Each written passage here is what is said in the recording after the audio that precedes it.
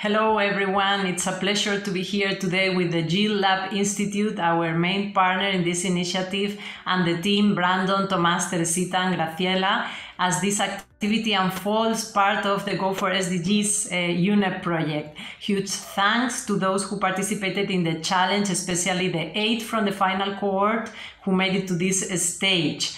They are bringing us innovation, tackling the most pressing environmental challenges of the region.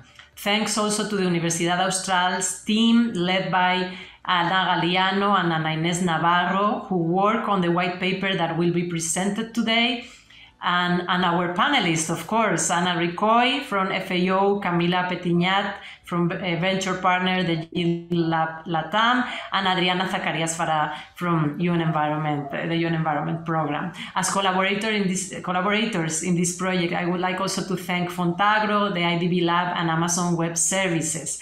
And before leaving you with this very interesting agenda, I just want to raise um, some points on the importance of this issue in the region. No? The, the three interconnected planetary crises, climate change, biodiversity and nature loss, and pollution are putting global economy and social well-being at risk, impacting also the possibilities to, we have to respond and recover from the COVID-19 pandemic.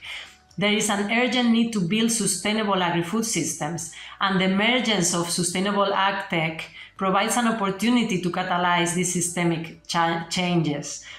The economic growth of past decades, we all know, has come at a high cost for our planet's ecosystems and for the services they are providing us, not only producing food, but also water, air quality, uh, protection uh, uh, in the face of risk, and agriculture in its current form has produced a lot of this pressure and is still converting land uh, that it has uh, natural ecosystems into other uses that are putting this land at risk of being arid, of uh, losing the vegetation, of having desalinization of soils. So we need more sustainable agricultural practices uh, to reduce the, the impact on ecosystems at the same time that we produce more food because we will need 60 to 70% more food in 2050 if we are to cover the needs of the estimated 9.6 billion people. At the same time, agri-food systems in the region are essential at a global scale, not only because LAC is the largest provider of ecosystem services with one third of all plant species, and also 57% of the world's remaining primary forest, but also because they are uh, exporting a lot of food. No? Around 23% of the world's agricultural exports are from LAC. Uh, this has an impact, of course, in the GDP of the countries of our region, but also it's uh, impacting the possibilities of other regions to be to be fed. No? While some farmers and ranchers have been at the forefront of adopting green technologies, agriculture is still using 73% of Latin America's fresh water and is uh, also one of the drivers of deforestation together with rapid urbanization and others. So agriculture remains to be a cornerstone of both Latin American economies and global ecosystems. To tackle the three planetary crises that I was mentioning before, it's essential to know um, where to direct finance and how to prioritize public and private resources to achieve the SDGs and the Paris Agreement. Agri-tech, understood as technology, technological innovations for the problems and challenges faced by the agri-food industry, provides an opportunity to drive the transformation at the speed and scale needed to achieve this collective environmental and human develop, development goal in this decade. So these solutions are targeting all stages of the agri-food value chain, uh, from big, big data analytic platforms that can optimize, for example, fertilizer use, to smart, smart packaging that significantly reduces waste. The sector is in its infancy in the region, but has the potential to transform and be part of the climate smart revolution. So in this project, we have collected data also to understand the socio-demographic profiles of the challenge startups uh, and also to, to, to find, as it is well known, where are the gender gaps that are persistent in the region. We will hear about the specifics um, the, of this research from the presentation of the Austral University. And for now, what I can say is that the percentage of female funded companies was only 10%, which is consistent with findings in prior, prior studies with, by the IDB lab. So we need to keep working to make sure that we tackle environmental issues at the same time that we tackle inequality issues. And this um, gender analysis is giving us uh, a sense of one of these inequalities, which is related to gender. As a second point, I would like to share that this challenge today uh, has brought stakeholders together to find solutions. And the competitors that we have demonstrate the progress that has been made but also the issues that continue to limit the, the scalability of these solutions.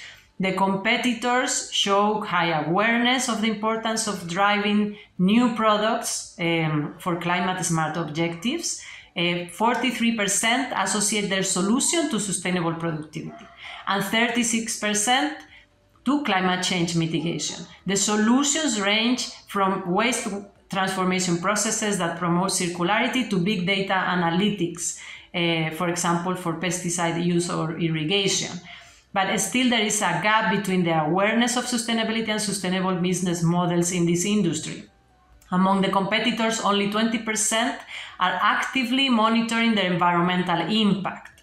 Uh, however, a significant number of the competitors are beginning to address this monitoring challenge through climate related indexes or collecting data from customers. Despite the efforts of entrepreneurs in advancing sustainable agri-tech solutions, they face tremendous challenges.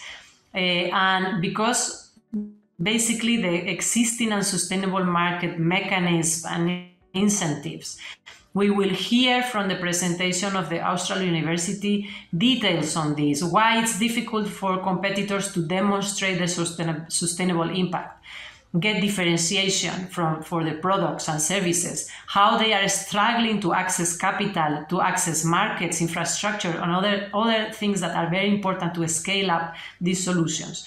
Some questions need to be asked, for example, how to match green investment with the sustainable agri-tech solutions, how to incentivize the uptake in the market, how to change the power dynamic in the value chain where primary producers have a limited ability to shape food systems and change their production practice. Despite the majority of natural resource use and environmental impacts takes place at the primary production stage. And finally, I would like also to, to give you some very brief ideas on what would be the next steps for stakeholders to cooperate and leverage agri-tech eh, at a scale to build sustainable agri-food systems across Latin America and the world. This requires ambitious policies and initiatives from government, industry, and research institutions alike. Building on this challenge, UNEP will continue piecing together an innovative, sustainable agri-tech ecosystem through alliances between startups, incubators, private investors focused on SDG impact, policymakers, for of course, investors and technology providers, initiatives that include also the participation of public and private actors that can draw from different resources and perspectives to encourage innovation in an effective way. And also, this is essential for a healthy exchange of best practices and environmental data that can enrich policy research and policy decision makers. We also need to explore ways of regularly engaging stakeholders for real impact. For instance, should we consider having this type of competitions annually? Should the model be expanded to new regions and sectors? How to make it all more inclusive for female founders, but also for indigenous peoples um, that can have very specific innovation niche.